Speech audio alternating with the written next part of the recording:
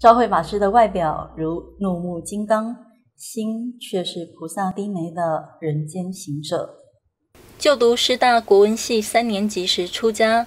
一九八九年，昭慧法师和信广法师共创佛教弘誓学院，连续举办十五届应顺导师思想理论与实践研讨会，著有二十八本书，热衷社运，包括一九八八年的思凡事件。一九九四年的观音像事件，促进立院通过野生动物保育法和动物保护法等。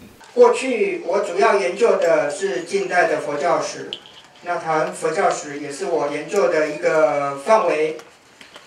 战后台湾佛教的发展是有目共睹的，昭慧法师在这个过程里面。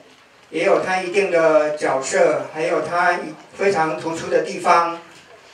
那以一个佛教史研究者的一个角度来看昭慧法师啊，这是我第二个身份。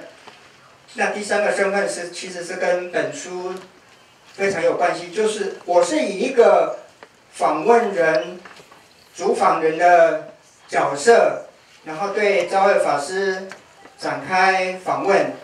在口述历史里面，我是主访人之一，然后法师是受访人。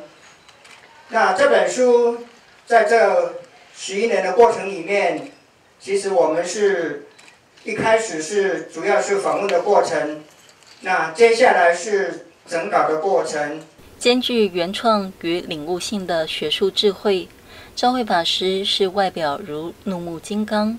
心如菩萨低眉的人间行者，他的著作文辞如飞瀑泉涌，掷地有声，且如泰山压顶。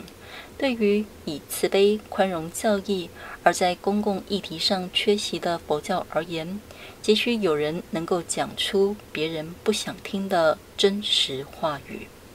时方新闻记者赖一荣台北采访报道。